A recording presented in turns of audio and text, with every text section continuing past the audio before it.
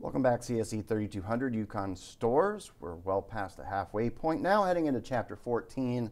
We're going to be covering dialogues and dialogue fragment with the purpose of enabling the button that has been disabled this entire time. We're going to make it so that when we click it, it's going to send us to a fragment that looks like this, where we can choose a date for our crime. I plan to cover the first two objectives in this video. We're going to create a date picker fragment class and build a date picker fragment. You're going to right click on com.bignerdranch and make a new Kotlin class. Call it date picker fragment. I've already done that. We're going to make it a subclass of dialog fragment. And that is the proper import.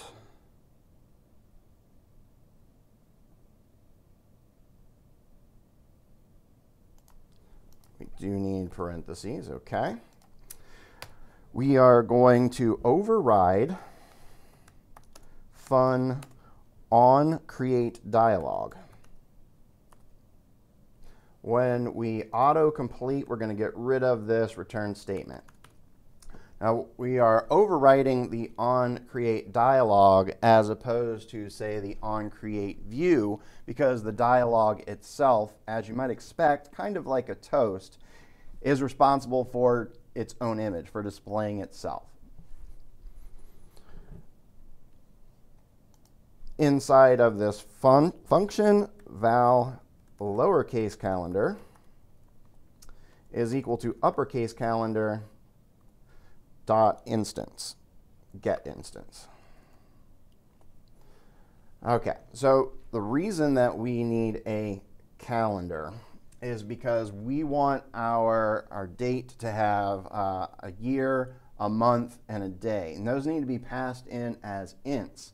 But um, our date that we're using right now is more of a timestamp and can't handle that directly. val initial year is equal to calendar dot get and then in parentheses uppercase calendar dot and then the constant year. Uh, we're going to do the similar things for the month and the day.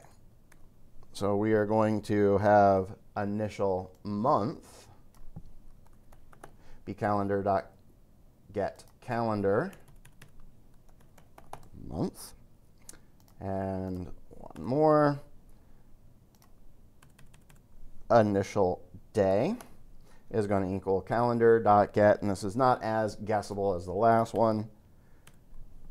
Day underscore. Now it's guessable because you have options. Day of the month. Okay, now we uh, erased a return statement. When we started this. We're going to put in our own return. We're going to be returning a date picker dialog.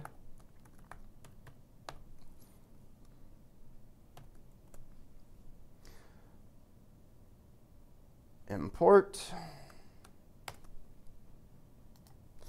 And we are going to have a fair few number of uh, parameters here. The first of which is a context, which is going to be required context. Um, this is the listener, which will be null for now, but we'll change that in a bit. And then our initial year, our initial month, and initial day.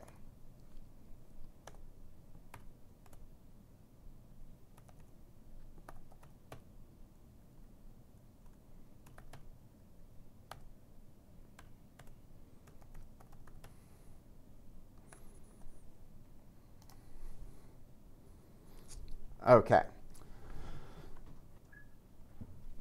Um, so whenever we use the date picker dialog, we want to put it inside of an instance of dialog fragment, which we did with that code. You can see it here. Uh, we have our date picker dialog wrapped inside of a dialog fragment. We could do it otherwise. Um, we could find a way to just display that calendar uh, but we won't have nearly as many options as if we are using a fragment. Fragment is a, uh, a tool that's now uh, well developed in the Android Studio and in the community. Um, it also is going to run the risk of just disappearing and never being able to fetch it. So if we would have a uh, a date picker dialog displayed and we did not have it wrapped inside of a fragment and we did something like a rotation, a state change, then it would disappear and we would never get it back. All right, so now we are going to go into our nav graph and we're going to add the date picker fragment and we will change the ID to the, um, the verbose uh, default to ID select date. Uh, in NavGraph, we're going to go to the design view. We are going to add a new destination. We're going to pick our date picker fragment, uh, drag it over here. Uh, we are going to connect our crime detail fragment to our date picker fragment. We are then going to go back into code, find that attachment, find that new ID.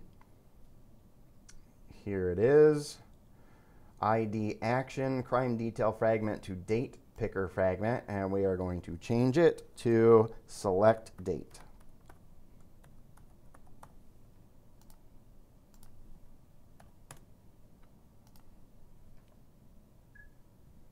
And finally, we are going to go into crime detail fragment, and we are going to get rid of this code here, which disabled our button. And then under update UI, we are going to go crime date dot set on click listener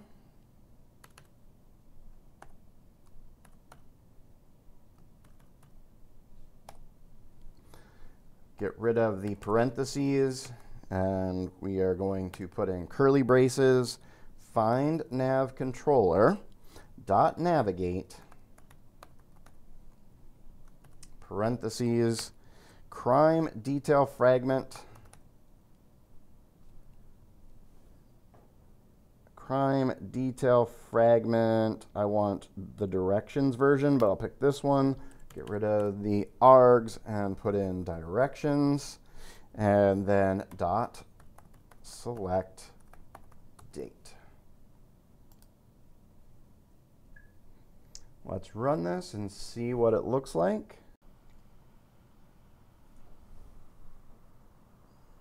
All right, so let's go into our toxic lunch and see if we can't change the date. Uh, we hit this button and we get to navigate to our calendar. Uh, let's say I pick um, March 21st and then I click OK and notice, and this is not surprising, that this has not changed and that's because although we have now set up this activity, this fragment, sorry, now that we've set up this fragment to get us from one screen to the next, we've not done anything with changing the data, which we will do in the next video.